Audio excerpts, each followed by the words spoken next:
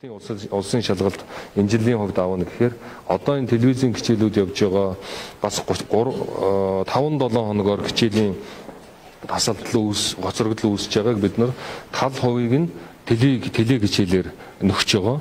А тал хувийг нь одоо 4 5 саруудад 5 дахь хагас сайнууд хагас сайн өдрүүдэд хичээллэх.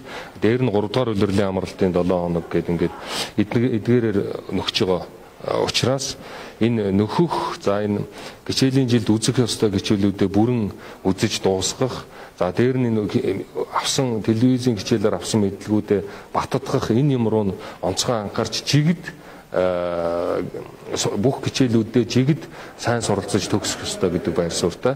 Тэгээд төгсөлтийнхаа юг энэ удирлынхаа дүнгуудын нэгтгэлээрээ төгс анги төгсөх дүнгээ тооцоолох нь зөвөө гэдэг ийм байр суурьтай байгаа.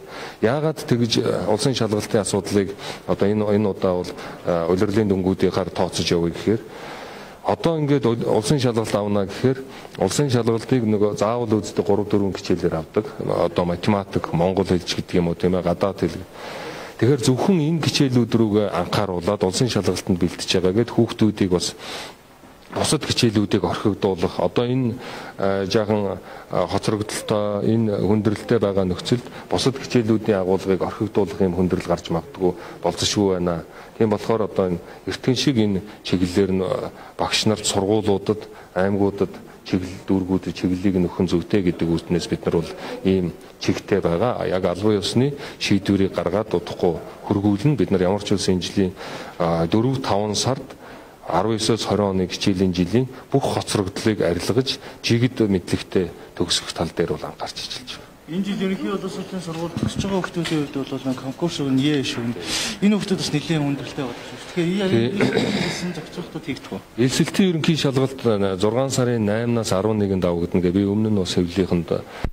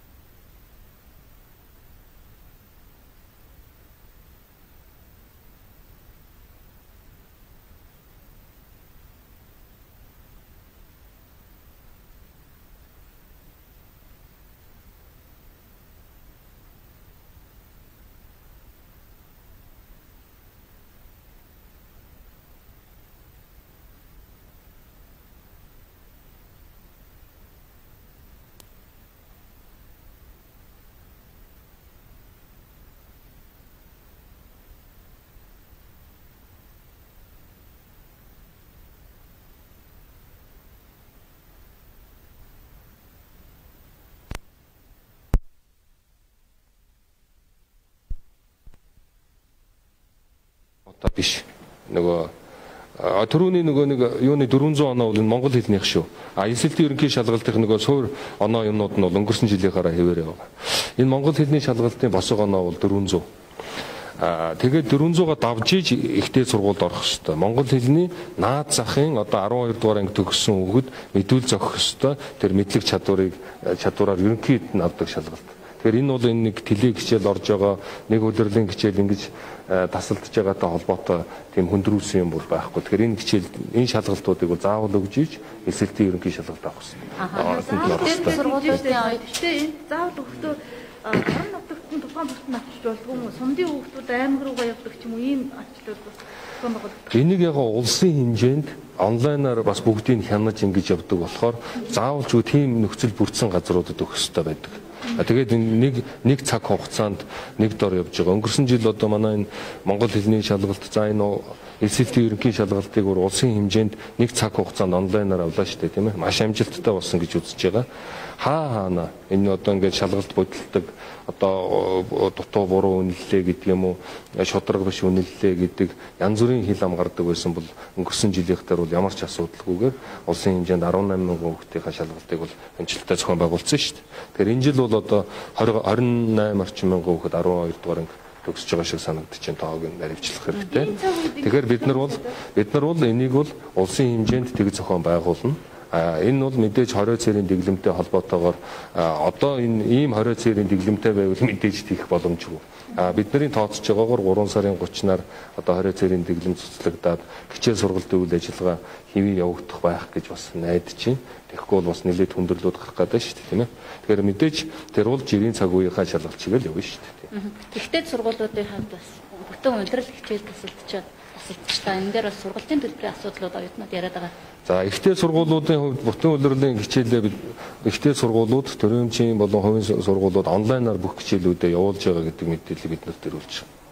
Энэ бол ихтэй сургуулийн сургуулиуд, ихтэй сургуулийн багш нар оюутнуудтай одоо бүрэн хамааралтай асуудал учраас оюутнууд гэдэг маань өөрснөө ямар хүмүүс үлээ тийм ээ өөрснөө хариуцлагатай байх хэрэгтэй. Онлайнаар хичээл сургалтын бүх юмнууд нь даалгавар нэг өгдөөд багш нар нь захимаар бүх асуудал хичээлийнхаа явцыг хянаад оюутнуудтайгаа холбогдоод ингээд ажиллаж байгаа юм байна лээ.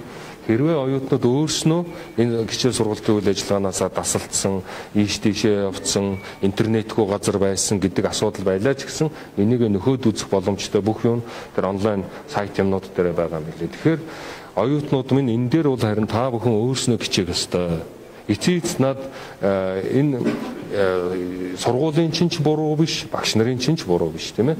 Дэлхийн нийтээр ийм аюултай цар тахал гарсан Монголын төр засгаас иргэдийнхаа эрүүл мэнд аюулгүй байдлаас байдлыг хамгаалж 20 цэрийн дэглэм тогтоосон учраас энийг бол оюутнууд ухамсарлах ёстой. А нөгөө талаараа тэр гिचээ сургалтаа өөрөө хийхгүй явж байгаад ингээд охирох юм бол оюутан өөрөө хохирно. Тийм болохоор тэр явж байгаа юмдаа өөрөө хамрагдаад явах ийм хэмжээний мэдлэг боловсрал тэр оюутнуудад бол байх ёстой. Оюутнууд маань энэ захим хичээл онлайн хичээлээ бол бүрэн хийх ёстой шүү гэдэг ийм асуудлыг бол тавина. Бусад сургууль цэцэрлэг ерөнхий боловсролын сургуулиуд дээр энэ бүх хичээлүүд дээр олон нийтийн зүгээс бол бас нэлээд боломжийн явж байна. Сайн зааж байна. Багш нар бол хичээл зүтгэл гаргаж байна гэдэг юм ярьж байгаа. Тэгээ өнөөдөр бас энэ хэвлэлийнхнаараа дамжуулаад энэ олон хүүхдийн сурах боловсрох энэ үйл ажиллагаанд одоо нийгмийн хариуцлагынхаа хүрээнд идэвхтэй оролцож ямар ч мөнгө төгрөг бас төр засагтаа ярихгүйгээр олон нийтэд дамжуулж үзүүлж байгаа энэ хэвлэл мэдээллийн байгууллагууд, сайтууд, телевизүүд, үндэсний олон нийтийн телевиз, тийм Монголын телевизүүдийн холбоо тийм ээ шууд юун дээр явж байгаа сайтууд байгаа. Тэгээд энэ хэвлэлийн ажилтнуудад бүгдээрэнд нь бас талархаж байна. А энэ гişээлийг зааж байгаа энэ маш том баг ажиллаж байгаа 300 гаруй инженер техникийн ажилтнууд телевизийнхэн 170 гаруй багш нар тэгээд 100 гаруй боловсролын ажилтнууд ажиллаж байна. Тэгэхээр энэ том хүн хүч төвлөрсөн энэ ажлыг бас ард намжилтаа гаргахын тулд ажиллаж байгаа бүх хүмүүст бас боловсрол сайн шинжилгээ спортын яамны нэрийн өмнөөс талархаж байна. Ажил дуусаагүй байна. Ахаад нэг сарын хугацаа бид нарт байна тийм ээ 3 сарын 30 хүртэл. Тэгэхээр энэ ажлаа бас илүү эрчимжүүлж сайжруулж ажиллах хэрэгтэй гэдгийг хэлээ. За баярлалаа. 6 сард бас улсын хурлын ээж сонгуулиуд тэгэхээр яг энэ сонгуулийн байдлаар хэцүү зохицуулт юм байдаг юм. Хэрвээ одоо байдал цааш хүндрүүлэх сонгуулийг яах вэ? Одоо одоогор бид миний ойлголт ойлголт мэдээлэл бол намууд 3 сарын 25-ны дотор баг хурлуудаа хурлдаж сонгуульд оролцохоо илэрхийлэх нэг хурал хийх ёстой тийм ээ. За 4 сард нэг хуралдаж сонгуулийн мөрийн хөтлөөр юмнуудаа сонгуулийн хороонд хүргэдэг. 5 сард хуралдаж нэр дэвшигч нарыг тодруулдаг. Ингээд 3 удаагийн хурал байх шиг байна.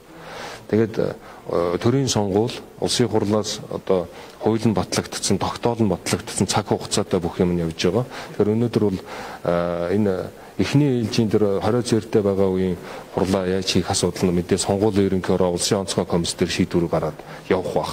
А тэрнээс бүр тийм хойшлох хэмжээнд тийм хүндрэл гарах уугүй юу гэдгийг бол би хэлж мэдэхгүй байна. Бүгд найрамдах Солонгос улс гэхэд 4 сард болох ерөнхийлөгчийн сонгуул, ерөнхийлөгчийн сонгуул баха 4 сард нэг том сонгуул нь болно. Энийгээ бол хойшлуулахгүй хугацаанд явуулна гэж байгаа юм байна л. Тэгэхээр энэ улс орнууд яаж чинь манайд нөхцөл ямар байна? Одоогор бас яг зүгээр илрээгүй вирусын халдвар илрээгүй байгаа ч гэсэн маш өндөржүүлсэн 20 цэрийн дэглэм тогтооцсон байгаа учраас энийг алдагдуулахгүйгээр яаж зохион байгуулах уу гэдэг нь зохион байгуулах, нам улс төрийн байгууллага, сонгуулийн байгууллага ажил. Тэгэхээр яг зөвхөн хойшлуулахаас өөр арган нөхцөл байдал орчин тохиолдолд энийг зохицуултын хууль эрхцэн зохицуултууд юу байдаг юм? За ер нь бол за тийм байдал бити үүсээсэ гэж залбирч байна. Одоо мэдээж тийм байдал үүснэ гэдэг бол нэлээд хүндэрсэн нөхцөлдөл тгий шүү дээ. Тийм биш байгаасаа цаг хугацаанд явуулаасаа л гэж бодож байна. Ягаад гэвэл эн чинь сонгуулийн ерөнхий хороо энийг шат шатны сонгуулийг зохион байгуулах аймаг нийслэлийн хороо гэд суманд хүртэл байгуулагдаад маш олон хүн ажилладаг төсөв санхүү зарцуулдаг ийм ажил хэрвээ хойшлогдох хугацаа өөрчлөх асуудал гарвал ахаал цаана төсөв мөнгөтэй холбоотой хууль тогтоомжийн өөрчлөлттэй холбоотой хүндрэлүүд гарах учраас бити тийм байгаасаа л гэж бодож байна шүү дээ тийм. За баярлалаа.